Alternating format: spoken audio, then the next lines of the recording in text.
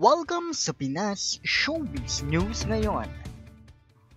Para sa video number 347 natin, meron na naman po tayong fresh na fresh at nagbabagang updates patungkol kay Maine Mendoza at Alden Richards. Kung ngayon lamang po kayo nakadalaw o naligaw sa ating channel, please po, i-click nyo na po yung subscribe and bell buttons para po lagi kayong updated, lalong-lalo na kay Maine at kay Alden. Ang pag-uusapan nga po natin ngayong araw ay ang ginawang pahiwatig ni at ni Alden kahapon at kanina na kung mangyayari nga pong maibabalik muli ang kalyeserye ay ipagpapa sa Diyos po nila ang mga ito. No? Yan po yun. Makikita nga po ang pahiwatig na ito sa ginawang live kahapon ni Maine Mendoza kasama si Tristan Cheng. At sa post naman po kaninang umaga ni Alden Richards na nasa hallway po siya. Bukod po dyan, hayaan po ninyong ibahagi ko sa inyo ang isang napakalaking pruweba na kahit mga kalalakihan o mga tigasin sa ating lipunan ay nahuhuk pa rin po sa kalye serye. Partida po yan, ano? Rerun pa lamang po yan ng kalye serye. Paano pa kaya kung nasa part 2 na tayo? My goodness, people. Baka yung pagmumura ko sa rerun pa lang ng kalye serye ay eh, mapalitan po ng paguntog ko sa sarili kong ulo sa pader sa sobrang kilig.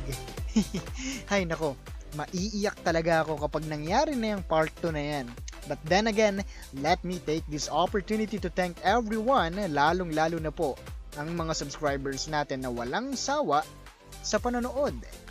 Kung uh, kasama ka sa 50% na nanonood sa ating channel pero hindi ka pa nakasubscribe, please po, please lang talaga, i-click mo na yung subscribe and bell buttons. No? Nape-pressure na po ako kay Mr. Destiny dahil nasa 70,000 subscribers na po siya. No? Tayo po ay nasa 40,000 na. Kaya dapat galingan ko pa.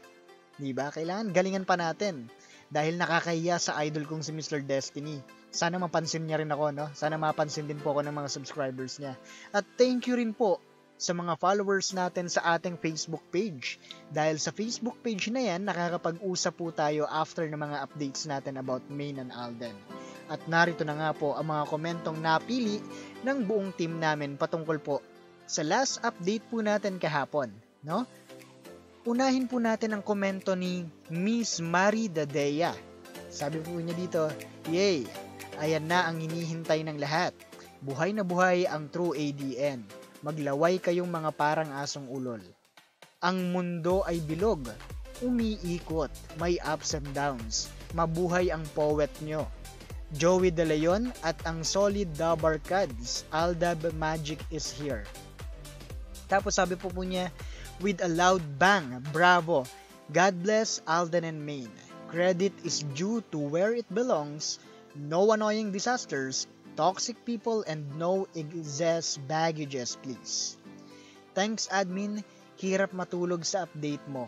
Keep safe and more power. I am strongly agree with your statements, Miss Marie Dadea.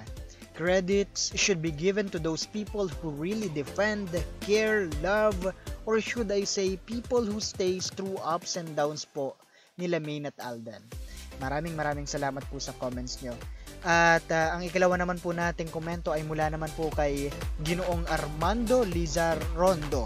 Sabi po niya dito, Hi Mr. Pinas Showbiz. Uh, sobrang saya ko po kasi binalik na nila ang Kali Serie Part 2 at sobrang saya ko talaga kasi babalik ang love team na Aldab. Alam mo po matagal na ko pong Matagal ko na pong dinarasal kay Lord na sana ibalik na nila ang love team na Aldab at salamat kay Lord at sa Itbulaga kasi binalik na nila. Tunay na kagal na uh, ano ba yan? Dapat pala Tagalog. Tunay na kagal, kagalak-galak po, no? Ang iyong mga sinabi, Ginoong Armando, Liza Rondo. Wala tayong ibang dapat gawin kundi maghintay ng maiklipang panahon dahil patuloy na po ang pagrepaso ng TVJ, lalo na po ni Sir Joey De Leon upang muling maibalik ang tugatogan o sabihin na po nating maibalik sa tugatog ng tagumpay ang Itbulaga sa pamamagitan nga po ng ating mga iniidolo na sina Main at Alden. Mabuhay po kayo, Ginoong Armando. Salamat po sa inyong komento. At ang ikatlo naman po nating uh, komento ay mula naman po kay Miss Joy Enriquez. Ang sabi po dito ni Miss Joy Enriquez, ayahan niyo pong basahin ko, Trolls, Unfair ha? Hindi ako kasali sa payout? At hindi lang pala ako late sa news, mga bashers din. FYI. No, ang sabi niya dito, FYI.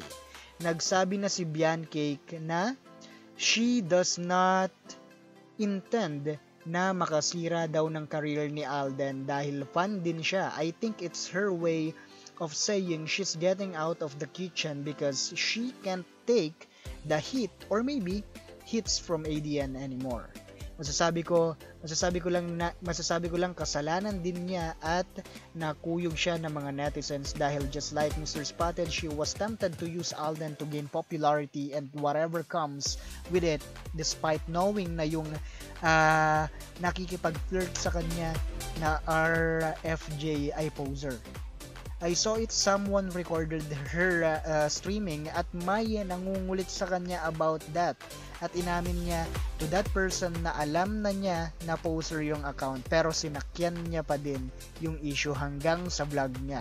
Now sasabihin nila sil- sila na ni Alden, paano mga bashers na to ginagawang tanga ang mga tao. Thank you so much Miss Joy Enriquez. Believe po talaga ako sa memory ninyo. You know what?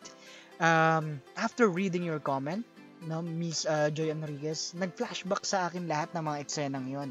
At napasabi ako sa sarili ko na, Oo nga, no? Ingat po kayo dyan sa inyo, no? Please stay safe, no?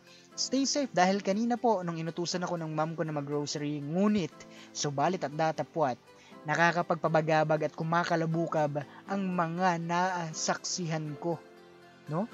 Kumakab- kumakalabukab po ang aking dibdib sa pangyayaring aking natunghayan. Wala pong social distancing. Kahit mga tao ay uh, wala rin pong sukbit na IDs or quarantine pass. Nasa loob po sila ng mall. Ayun, nag-end up po ako na mag-grocery na lang po sa isang maliit na grocery store kaysa kaysa po sa All Home, SM or Robinsons. Please po, stay safe po, no? Dahil buhay na buhay pa po ang virus na hindi natin nakikita, wala pa po tayong gamot para diyan. Kaya please, Di nyo ba pansin, dumarami po ang mga positibo nang ipatupad yung GCQ na yan at MECQ na yan. No? My goodness people talaga. Ang daming nangyayari na uh, kung ano-ano. Well, anyways, nais ko lang pong ibahagi sa inyo ang, kaka- ang uh, kakatuwang IG story ni Mayor Vico Soto. Kung saan uh, gamit ang mga ang makasaysayang plywood nga po ay ginamit ito ni Mayor Vico upang paalalahanan ng mga taga-Pasig at mga taga-ibang lugar. Hayaan ninyong basahin ko sa inyo ang kanyang IG story. Sabi niya po dito, Lola ni Dora imposing social distancing at Itbulaga 1979. Ngayong bukas ngayong bukas na po ang mall sa NCR. Isipin po natin ng mabuti, kailangan kailangan ko ba talagang pumunta doon? Tandaan, maraming asymptomatic. Ang asymptomatic po dun yung hindi nyo alam na may virus pala siya. No, kasi wala naman siyang mga symptoms na pinapakita. then, dagdag pa po ni Mayor Vico, mag-ingat tayo hindi lang para sa sarili natin kundi para sa kapwa natin. Kilala po si Mayor Vico Soto no, na sa pagiging heartthrob nito o pagiging malakas sa chicks nito. Isa sa mga pinakabatang naging mayor. Kahawig ba naman si Bossing Vic, no? Na kanyang tatay. Selos pa nga ako noon sa kanya nung ma- makadate niya po yung crush ko, si Gretchen Hu. Pero okay lang yan, at least masaya sila. Hindi mo talaga mapipili, no? Hindi mo talaga mapipili pa. Kaya ako, noong kasagsagan po ng Kalye serye sa mga kaibigan ko noon. Pare-paras po kami mga lalaki na na, pero ang usapan namin, topic namin Aldab. Hindi lang pa hindi lang po pambaba, hindi lang po pambabae ang Aldab, no? FYI, Rerun pa lang po yan ng Caldio Serie. Abangan po natin sa Monday at sa iba pang mga araw ang magiging galawan ng Itbulaga para sa Caldio Serie.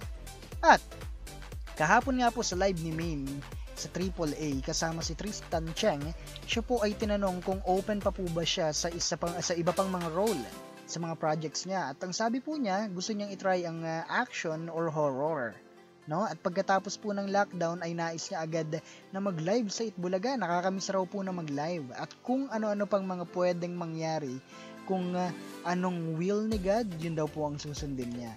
Noong sinambit ni uh, May ng mga katagangian, hindi po namin ito pinagtuunan ng pansin.